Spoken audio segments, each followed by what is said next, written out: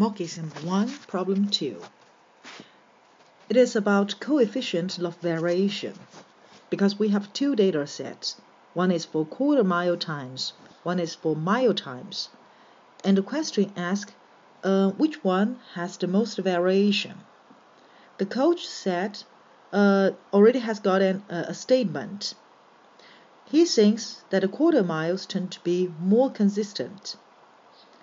So we need to first test the coefficient of variation, whether the data is consistent or which one is more consistent. Since the data are recorded in different data set, the same as you use Japanese yen and euro,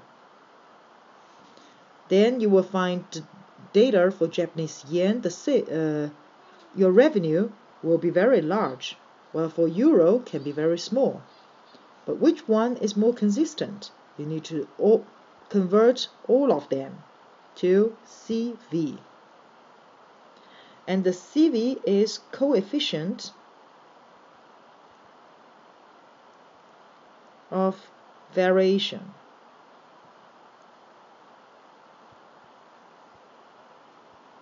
It comes from your standard deviation divided by your mean.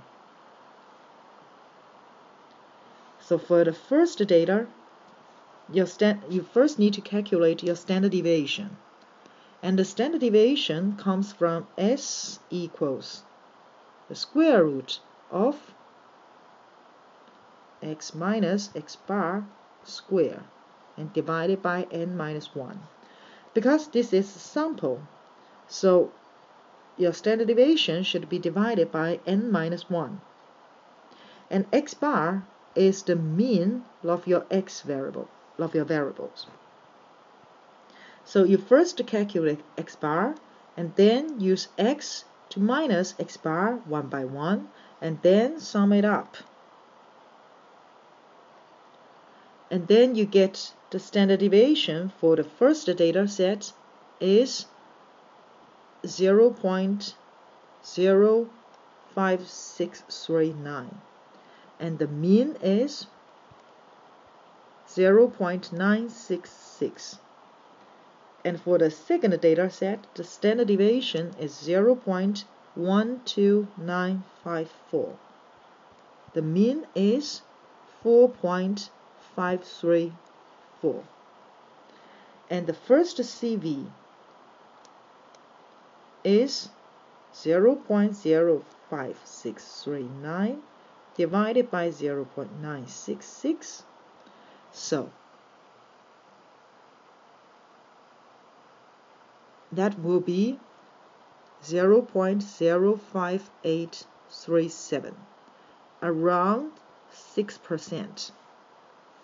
And the second CV, if you use this one to divide it by this one, then you get 0.02857, around 3%.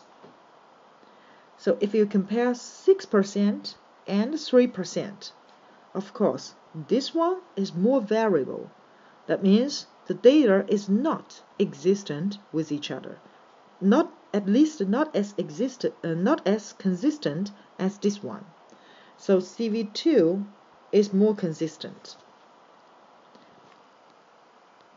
Go back to the, uh, the question story.